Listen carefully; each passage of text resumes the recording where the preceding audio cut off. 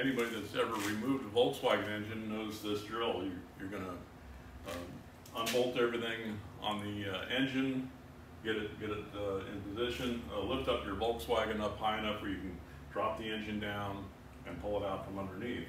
Uh, typically, uh, most of us use a floor jack to lower the engine down, and then we have to uh, scoot it out from under the vehicle and then lower the vehicle back down.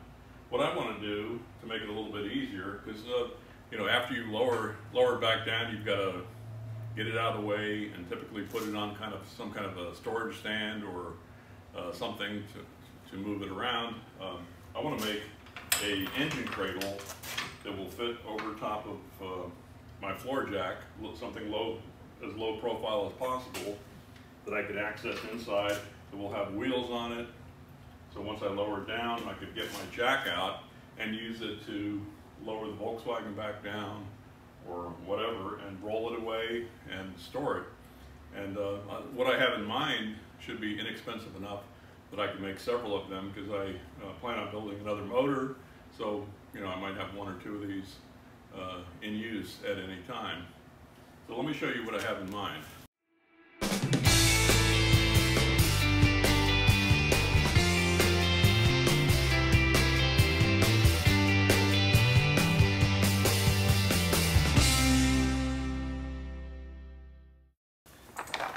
Going to use as a foundation for my engine cradle one of these uh, movers dollies. This one I bought at uh, I think Harbor Freight or one of those stores like that on sale for like around 10 bucks. I think normally they're only $15. Uh, it's rated for a thousand pounds, so it's got four fully swiveling casters on it. Um, and uh, it'll fit, you know, over the wheels, it'll clear, but um, this one brace here, this one piece of wood, is gonna be in the way. So I'm gonna cut it away, so it'll be like a U-shaped but we still need to tie uh, these wheels together so they don't spread apart or, or break in any way. Um, I've got some half inch uh, plywood scrap that I'm gonna uh, put on top of this area uh, just as a spacer.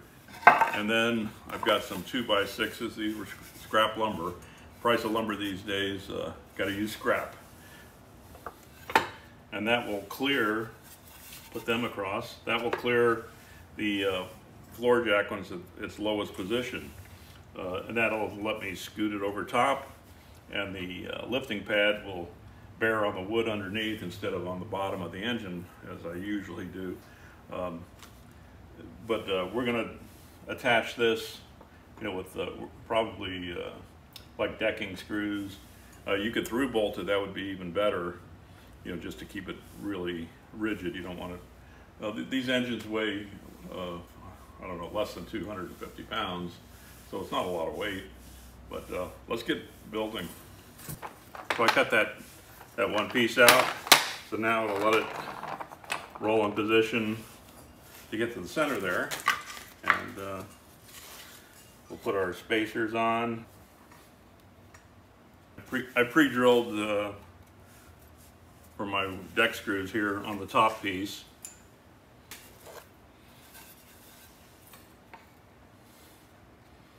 Okay, that, that leaves a little gap in the middle, but that won't hurt a thing.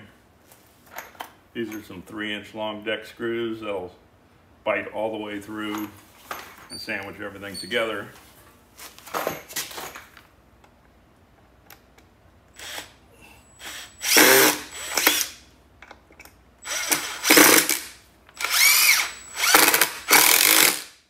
Biggest amount of stress will be on the, the piece where the cutout is because that'll uh, tend to let the legs spread there. So we want to put most of our fastening there. The, the other part is just a filler, doesn't really matter. And there you have it. It'll slide underneath or over top and um, I think it'll hold. Yeah, that's just enough clearance. Could have probably uh, used three quarter inch plywood for the spacers on there. Uh, but like I said, you're gonna measure your own jack and see what you need. Uh, I, weigh more than a Volkswagen engine, I think. Um, I don't think that's gonna go anywhere. All right, we'll try it out, pull the motor.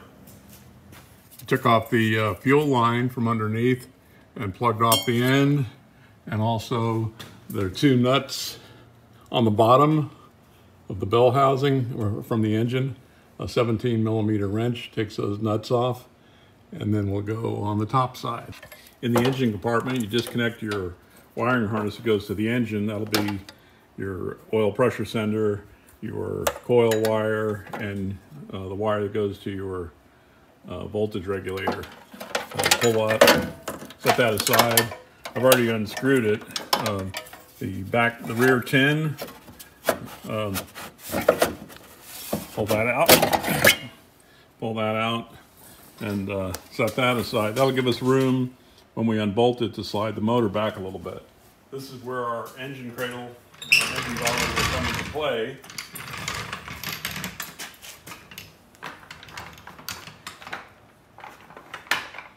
We're gonna lift that a little bit, put some tension on it so it follows the jack for now. And uh, position it under the motor.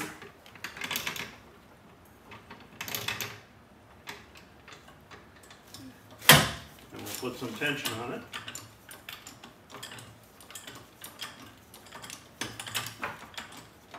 Okay, that's supporting the motor.